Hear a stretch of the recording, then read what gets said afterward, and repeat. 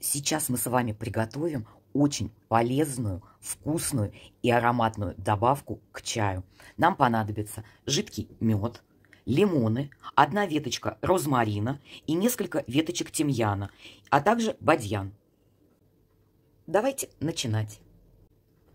Тонкими кольцами или полукольцами нарезаем лимоны. Разламываем бадьян вот на такие маленькие фрагменты одним движением руки э, с тимьяна да, удаляем стебелек, оставляем листики или мелко режем ножницами. И также убираем веточку, оставляем только листочки с розмарина.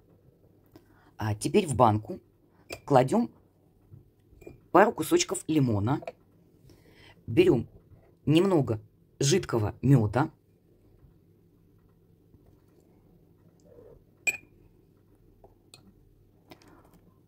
Две фракции бадьяна, немножко тимьяна и немного розмарина. И вот так укладываем слоями.